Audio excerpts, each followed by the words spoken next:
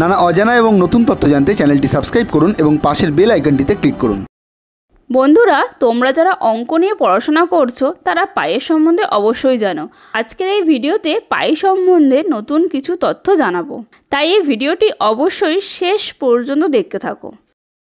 পাই হলো কোনো বৃত্তের পরিধি এবং ব্যাসের অনুপাত। বহু গবেষণা ও বিশ্লেষণ করে দেখা গেছে যে কোনো আকৃতির বৃত্তের পরিধি এবং ব্যাসের অনুপাত সর্বদা একই হয় এবং এই অনুপাতটি হল বাইশের সাত, যাকে গণিতের ভাষায় পাই বলা হয়। গ্রিক পরিধি পেরিমেত্র শব্দটি থেকে গ্রিক বর্ণ পাই নেওয়া হয়েছে। সম্ভবত সতেরোশো ছয় সালে উইলিয়াম জোন্স এটির প্রথম ব্যবহার করেন। পায়ের মান নির্ণয় নিয়ে গবেষণা নতুন নয়। আজ থেকে দু হাজার বছর আগে ব্যাবিলনে পায়ের মান ছিল পঁচিশের আট। বিভিন্ন স্থাপত্য নির্মাণের জন্য তারা এই মান ব্যবহার করত। এছাড়াও মিশরের বৃত্তের পরিধি ও ব্যাসের আনুপাতিক মান দুশো ছাপ্পান্ন বাই একাশি ধরা হতো। মনে করা হয় পিরামিড নির্মাণের ক্ষেত্রে মিশরীয়রা এই মান ব্যবহার করত। প্রাচীন ভারতীয় গণিতবিদ্যাতেও এর প্রচলন ছিল। শতপথ ব্রাহ্মণে এর মান তিনশো উনচল্লিশ বাই একশো আট উল্লেখ করা হয়েছে। পরবর্তীকালে আর্কিমেডিস প্রথম পাইয়ের মানের সীমা বের করলেন। তিনি প্রথম পাই সমান বাইশের সাত এটি নির্ণয় করেন।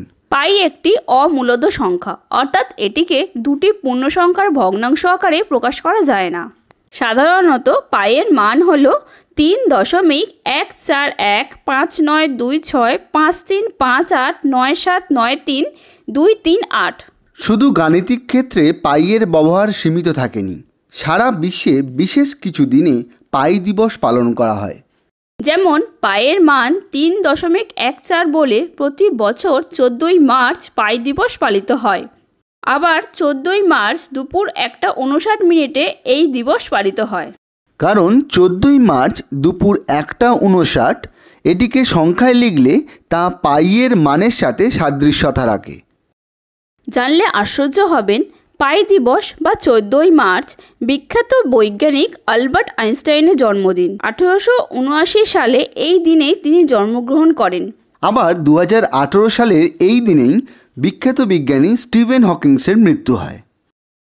এছাড়াও জুলাইয়ের বাইশ তারিখ আপাত পাই দিবস বা পাই অ্যাপ্রক্সিমেশন ডে পালিত হয়। দশই নভেম্বর বা লিপ ইয়ারের ক্ষেত্রে নয় নভেম্বর আপাত পাই দিবস বা পাই অ্যাপ্রক্সিমেশন ডে পালিত হয় কারণ এই দিনটি বছরে তিনশো চোদ্দতম দিন। জুনের আঠাশ তারিখ দিনটি টু পাই ডে বা টাউ ডে হিসেবে পালিত হয়। পাইয়ের মান তিন দশমিক এক চারকে দুই দিয়ে গুণ করলে ছয় দশমিক দুই আট পাই, যা ওই দিনের তারিখের সাথে সাদৃশ্য রাখে।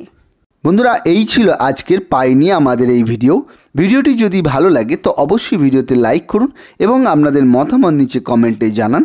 সেই সঙ্গে এই চ্যানেলটিকে অবশ্যই সাবস্ক্রাইব করুন।